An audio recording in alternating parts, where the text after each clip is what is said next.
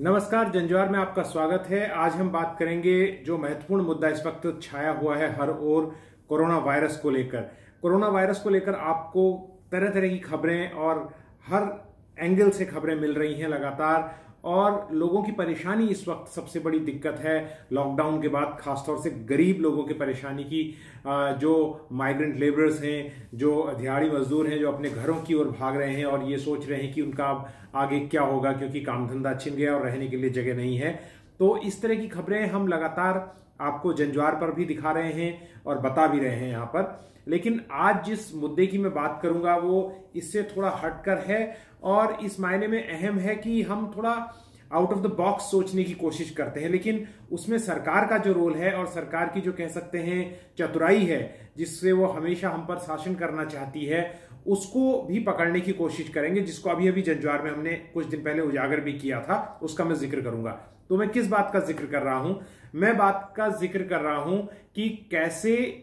Electronic surveillance यानी digital surveillance जो है, वो क्या इस महामारी से, इस तरह की महामारी से भविष्य में लड़ने में हमें मदद कर सकती है? हम बहुत लंबी चौड़ी बात नहीं करेंगे, क्योंकि ज़्यादातर बातें दूसरे मुद्दों पर जो हो रही हैं, उनको हम यहाँ दोहराएँगे नहीं, वो आप तक लगातार पहुँच ही रही हैं। हम सिर्फ़ ये सवाल उठा रहे हैं कि क्या सरकार ने जो हमने जंजवार पर आपको पूरी एक सीरीज़ दिखाई थी कि किस तरह सरकार एक नेशनल सोशल रजिस्ट्री बना रही है, एक लाइव डेटाबेस बना रही है, हमारे साथी कुमार संभव श्रीवास्तव ने जो रिपोर्टिंग की थी, जो हफिंगटन पोस्ट में छपी थी, उसके अलावा जंजवार में हमने उसको हिंदी में छापा था और उसके अलावा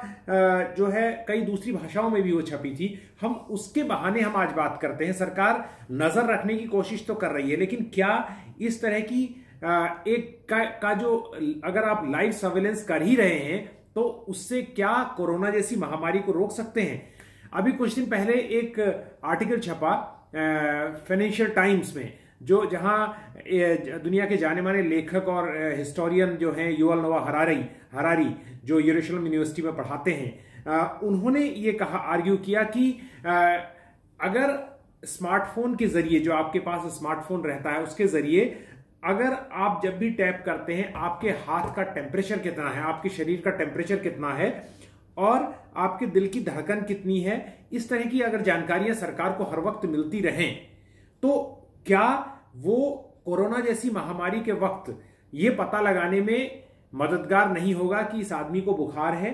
या अगर आपकी सर्विलेंस की जा रही है तो आप किस किस व्यक्ति से मिल रहे हैं, किस वक्त जाकर? और अगर आप इन्फेक्टेड पाए गए तो उन सारे लोगों को ट्रैक किया जा सकता है और इस महामारी को फैलने से रोका जा सकता है। लेकिन ऐसा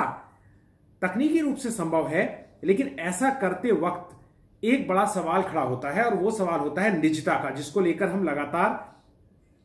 देखते रहे हैं, समाज में आवाज़ उठती है और ज़ाहिर बात है और बहुत जायज़ सवाल है कि सरकार अगर इस तरह का डेटाबेस बनाएगी और इस तरह से नज़र रखेगी तो उसकी अपनी ज़िम्मेदारी उस पर क्या है? तो इस पर यह सवाल उठाया जा रहा है कि अगर सरकार ज़िम्मेदारी ले और सरकार ज़िम्मेदारी ले और इस तरह का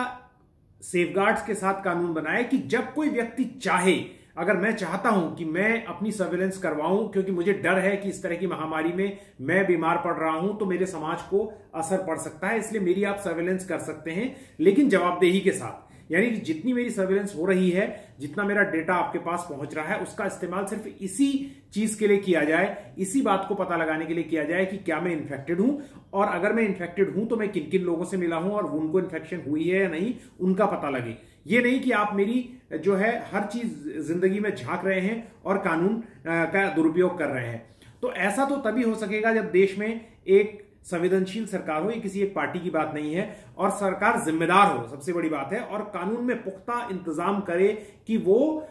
जो है इस तरह का दुरुपयोग ना होने दे और पूरी तरह से सरकार को जवाबदेह बनाया जाए अगर दुरुपयोग होता है। लेकिन समस्या यह है, जो कुमार संभव श्रीवास्तव ने रिपोर्टिंग की थी, उसमें उन्होंने यह सवाल उठाया था कि जो नेशनल सोशल रजिस्ट्री की नींव रखने वाले अधिकारी हैं, उन्होंने ही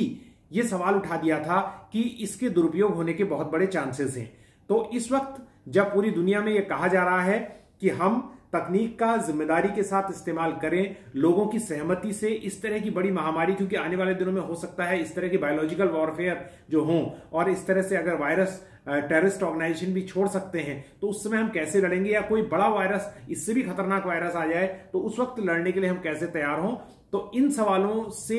निपटने के लिए हमें इस मामले में अपनी आँख कान खुले रखने चाहिए कि, और इस तरह के आउट ऑफ़ द बॉक्स सोचने के लिए अपने को तैयार करना चाहिए कि इस तरह टेक्नोलॉजी का इस्तेमाल करके अगर लड़ा जा सकता है तो लड़ा जाए, ज़रूर लड़ा जाए, लेकिन सरकार आरटीआई कानून को जब मज़बूत नहीं कर रही है सरकार की अपनी जवाबदेही का क्या? सरकार हमारा डेटाबेस तो मांग रही है और कह रही है कि हम मानवता के हित में जनहित में आपके लिए पीडीएस देने के लिए तमाम चीज़ों के लिए ज़ाहिर तौर पर उससे आ, मामले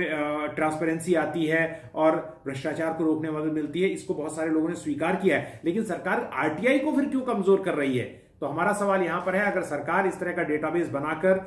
दुनिया भर की सरकारें आपस में सहयोग भी करती हैं डेटा एक्सचेंज करती हैं बीमारियों से और दूसरी समस्याओं से लड़ने का एक रास्ता अख्तियार करती हैं तो उनका स्वागत है। लेकिन फिर उन्हें आरटीआई जैसे कानून को भी मज़बूत करना होगा। इन कानून में अगर ला रही है, डिजिटल कानूनों में, उनमें सेफ़ गार्ड हमें देने होंगे। और इसी बात को कहने के साथ हम आपका आज का अंक समाप्त करते हैं।